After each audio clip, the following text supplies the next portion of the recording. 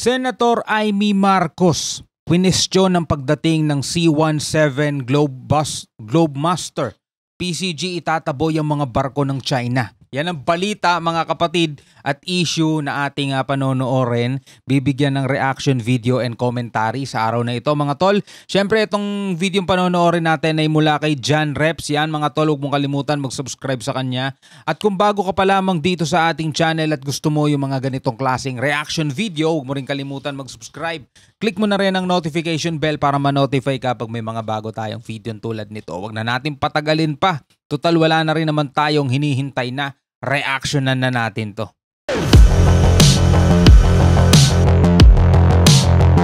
Ito yung Globe Master.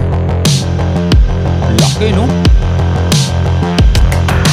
Breaking news. Senadora Amy Marcos kinestyon ang pagdating ng mga eroplano ng militar ng US sa bansa. Mhm. Pero Department of Foreign Affairs nilinaw na may diplomatic clearance ang mga eroplano at bahagi ng bilateral exercise. Mhm. Kaya alamin ang buong detalye nan mamaya.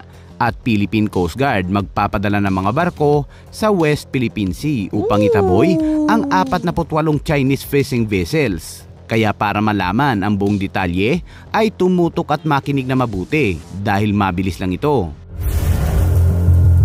Doon sa pag-question ni Senator Amy, hindi naman sa pagkontra. El, ano niya yun, tungkulin niya yun mga tol, na kung ano man yung nangyayari sa kanyang bansa bilang isang senator, kailangan malaman niya kung ano yung buong detalye para kapag, uh, alimbawa, magpo-post siya sa Facebook o magsasalita siya, is alam niya kung ano yung sasabihin niya mga tol. Kesa naman dun sa mga senator na tutulog-tulog di alam kung ano nangyayari sa bansa, di ba? Tuloy natin.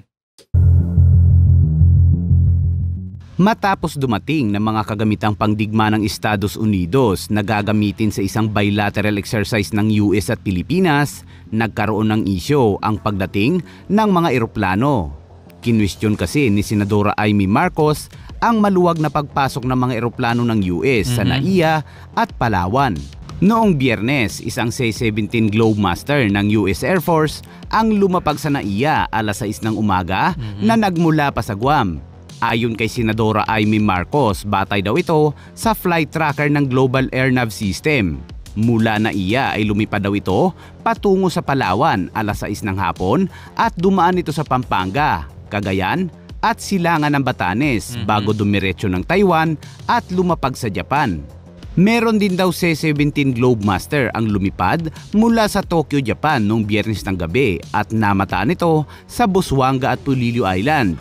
Ang C-17 Globemaster ay isang cargo plane na ginagamit ng US para sa deployment ng militar, paghatid ng kagamitan at paglikas ng mga sibilyang apektado ng sakuna. Hmm. Nauna ng pinuna ni Amy Marcos na chairperson ng Senate Committee on Foreign Relations ang paglapag ng kaparehong eroplano sa NAIA nung nakarang linggo. Ngunit ayon sa isang sulat ng US Embassy na ipinadala sa Senadora, ang aircraft ay bahagi ng isang bilateral military exercise kaya ito nasa Pilipinas.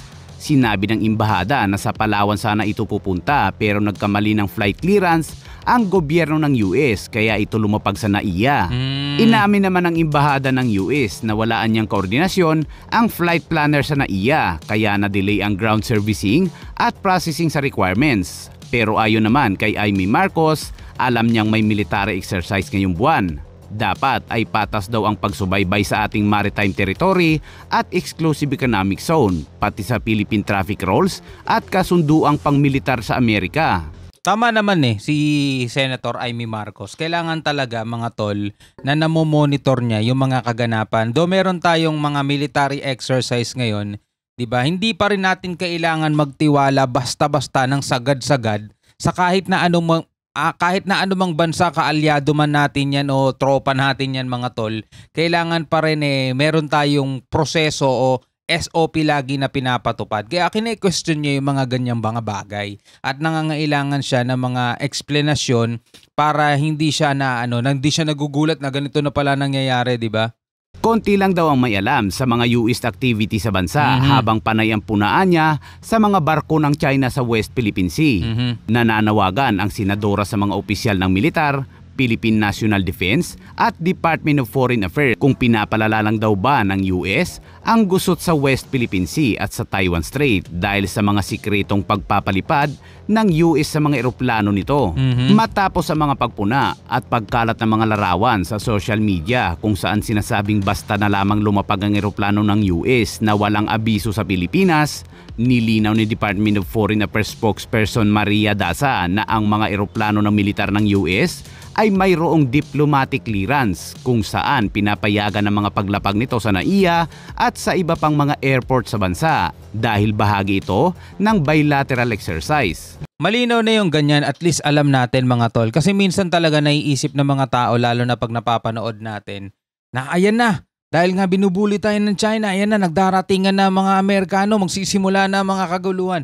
ba mga tol? At syempre ayaw din naman mangyari yon ng ating ah, mahal na senadora, ba? Ng iba pa nating mga mga lingkod bayan. Kaya eto, naghahanap sila ng explanation kasi bansa tayong malaya, eh, may sarili tayong gobyerno mga tol at hindi tayo under ng Amerika, hindi tayo under ng kahit na anong bansa. Kaya dapat ah, lumagay sila sa ayos na pagpapasok sila rito, lalabas man, kailangan lagi silang merong abiso. Hindi yung tipong parang bahay mo na to eh. No, labas-pasok ka na lang na walang paalam, no? Dahil sa pagpuna ni Senadora Amy Marcos ay inula naman ito ng mga komento at sinasabing masyadong nakikialam ang Senadora, bida-bida at parang mas may alam pa sa kapatid na Pangulo. Noon na to. Noon yung mga yun, no? Nakikialam mo senadora, bida-bida. Noon Eh, ma- ano yan eh. Senator nga yan eh. Ang tang- tungkulin niya talaga para sa bansa eh. Anong gagawin ng mga senator dito? Mang Senadora, bida-bida at parang mas may alam pa sa kapatid na Pangulo. Wala namang inilabas na pahayag ang Armed Forces of the Philippines kaugnay dito. Mhm. Ano kaya mga reaksyon nyo dito mga kabayan? Ikomento lamang po sa ibaba. At sa ibang balita naman, ayon kay Philippine Coast Guard Commodore J. Tariela, magpapadala sila ng mga barko sa West Philippine Sea upang itaboy ang mga nagkukumpulang 48 Chinese vessels sa Mhm. Iroquois Reef. Tama. Sa isang pahayag ay walang sinabi kung kailan magpapadala ng mga barko ang Philippine Coast Guard. Sana ay mapaalis ng maayos at maging ligtas ang lahat sa gagawing iyan ng Philippine. Kaya yan ang ating mga aabangan. At para maging updated ka, ay ilike lamang ang video at mag-subscribe.